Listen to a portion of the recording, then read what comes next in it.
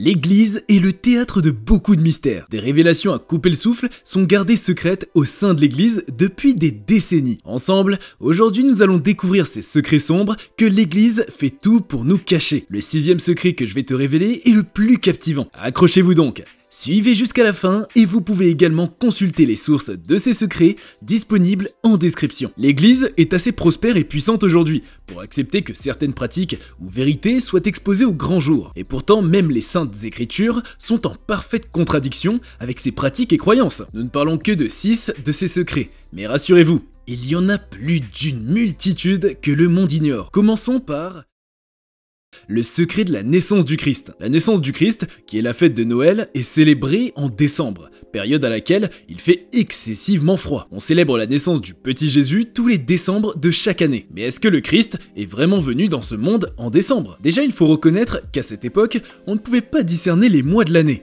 Il n'y avait pas de calendrier. L'Église a réussi à enraciner dans le cœur de milliards de croyants que Jésus est venu dans notre monde en décembre. Et mieux encore, on a même une date précise, le 25 décembre. Décembre, c'est le mois de l'hiver. Donc en ce mois précis, il fait très froid. Mais d'après ce qu'on nous a fait croire, des hommes, plus précisément des bergers avec leurs troupeaux, auraient parcouru des lieux à la marche dans le froid pour aller rendre visite à l'enfant Jésus et l'honorer avec leurs présents. Les rois mages, leur désignation prête déjà à confusion. On ne parle d'eux que dans les évangiles selon Saint Matthieu et Saint Luc. Ce qui est surprenant, c'est que les deux disciples ne parlent pas d'eux en utilisant la même appellation. Pour Saint Matthieu, ils sont des mages, mais pour Saint Luc, ils sont des sages. Puis sont-ils vraiment des mages? Ou des sages Leurs noms n'apparaissent dans aucun des deux évangiles, mais pourtant à la date d'aujourd'hui, on les connaît sous le nom de Gaspard, Balthazar et Melchior. Ils ont dû traverser des villes et des royaumes à pied avec leurs troupeaux de brebis sous la fraîcheur de l'hiver pour venir rendre hommage aux nouveau-nés. Les trois mages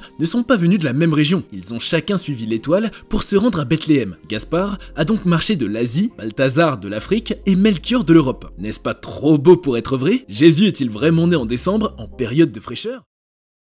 La fête de la Pâque. La Pâque est la fête chrétienne qui célèbre la résurrection du Christ. Le Christ serait mort, descendu aux enfers et ressuscité le troisième jour. La question de sa résurrection n'est même pas l'objet de notre réflexion. C'est plutôt le jour où cette fête se célèbre qui nous intéresse ici. L'Église a consacré dans ses traditions le dimanche comme jour où la Pâque doit être célébrée. Dans le livre d'Exode, chapitre 20, versets 8 à 11, Dieu lui-même aurait consacré le jour du sabbat comme jour où la Pâque doit être célébrée. Donc l'Église a fait du dimanche le jour du sabbat. Mais est-ce réellement le dimanche qui est le jour du sabbat? La polémique sur la question est tellement grande que les juifs se disant vrais connaisseurs de l'histoire célèbrent leur sabbat le samedi pendant que l'Église de son côté l'observe les dimanches. Quand on se penche vers les Écritures, il est dit dans Exode 20 2.8-11 que le juif doit travailler 6 jours dans la semaine et qu'au septième jour, il doit se reposer car Dieu lui-même aurait fait toutes ses créations en six jours et qu'au septième, il se serait reposé et contemplé son œuvre. Mais quand on prend le calendrier juif, le premier jour de la semaine est le dimanche et non le lundi. Donc par conséquent, le jour du sabbat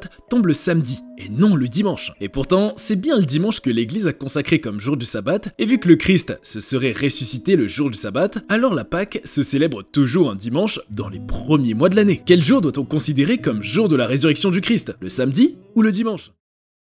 Le jour du sabbat, jour de repos ou jour de culte. Que le sabbat soit un dimanche ou un samedi, ce qui est sûr, c'est qu'il existe. Mais ce jour a été consacré pour quelle raison? Comment les chrétiens ou les juifs devraient-ils voir ce jour en question? Là encore, s'ouvre une grande porte de mystère. L'Église a enraciné dans les habitudes de ses fidèles une idéologie qui pourrait ne pas être la vraie raison pour laquelle le Seigneur aurait consacré ce jour. Il est dit dans les Saintes Écritures, pour ainsi parler de la Bible, que Dieu a fait toutes ses créations en six jours et s'est reposé de ses œuvres le septième jour. Dans les commandements qu'il a donné à Moïse, à en croire les Écritures, il a aussi ordonné son peuple, le peuple juif, de travailler aussi pendant six jours, mais qu'au septième jour, ils doivent se reposer, car le septième jour lui était consacré à lui, leur Dieu. Ils devraient donc en ce jour ne rien faire, ni eux ni leurs domestiques, ni leur bétail, car le jour du sabbat lui est réservé. La question est de savoir si le fait que le Seigneur aurait recommandé à son peuple de ne rien faire au jour du sabbat, car c'est un jour qui lui était consacré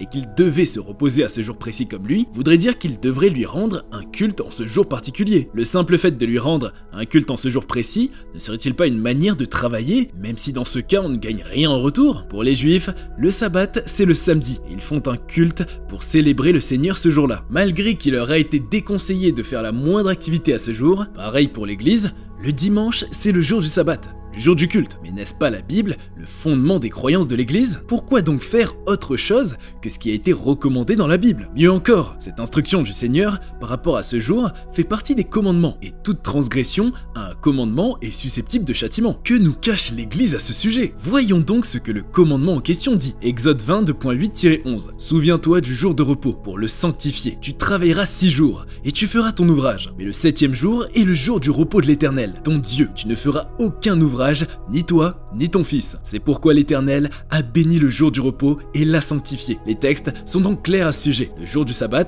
qu'il soit un samedi ou un dimanche, il est fait pour honorer le Seigneur en se reposant en ce jour car lui-même s'est reposé le septième jour. Le jour du sabbat aurait donc été consacré par le Seigneur pour un repos sacré et non pour qu'on lui donne un culte en ce jour précis. Que cache donc l'Église?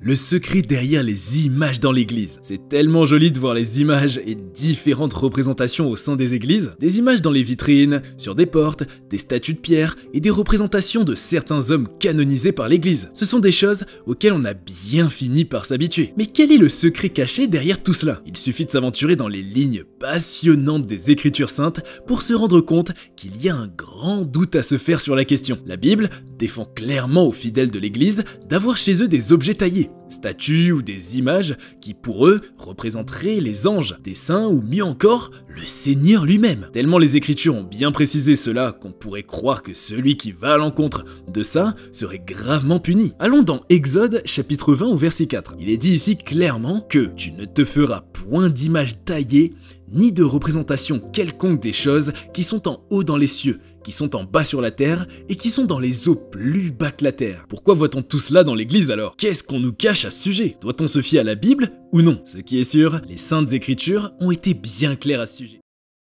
La vie après la mort. On finira tous par mourir. Mais que se passe-t-il après la mort? À ce sujet, l'Église enseigne qu'il y a une vie après la mort et que cette vie, c'est notre âme qui a accès. Fantastique, n'est-ce pas? Mais quand on se lance dans l'étude des Écritures, on remarque qu'il n'en est pas tout à fait ainsi. Il est dit noir sur blanc dans le livre de Romains, qui est une épître que le célèbre apôtre Paul a envoyé aux Romains, que le salaire du péché c'est la mort. Romains chapitre 6 verset 23. À en croire ses écrits, après la mort, c'est simplement la mort. Il n'aurait donc pas une autre vie réservée à nos âmes à part cette vie que nous vivons déjà ici sur cette terre. Pourquoi l'Église a alors amené tous ses fidèles à croire et à placer leurs espoirs à une vie après celle que nous avons déjà sur cette terre? C'est encore là un des nombreux secrets que l'Église nous cache depuis des décennies sur des décennies. Les orphelinats de l'église et leurs secrets. T'es-tu déjà demandé pourquoi voit-on autant d'orphelinats qui appartiennent à l'église? As-tu déjà pensé au nombre d'orphelins que ces centres regorgent dans le monde entier? Ceci va te couper le souffle. Les orphelinats ont pour la plupart connu jour durant la Seconde Guerre mondiale. C'était alors des centres pour recueillir les enfants juifs dont la menace de la mort persécutait. Les hôpitaux et les rues étaient remplis de bonnes sœurs espionnes dont la seule mission était de cibler ces enfants dès leur naissance afin de les prendre par tous les moyens à leurs parents qui, selon l'église, n'étaient pas en mesure de fournir un bon cadre de vie à leurs enfants. Ces enfants étaient donc placés dans ces orphelinats, mais la véritable question est de savoir ce que ces enfants devenaient. Une chose est certaine, leur mort était déclarée aux mamans. On vient de voir ensemble seulement 6 secrets que l'église nous cache. Mais rassurez-vous, il y en a des multitudes que tu ignores. Abonnez-vous à la chaîne pour découvrir d'autres secrets encore plus fascinants. N'oubliez pas de nous laisser un petit mot en commentaire et de liker la vidéo. Et puis bye sur Cultination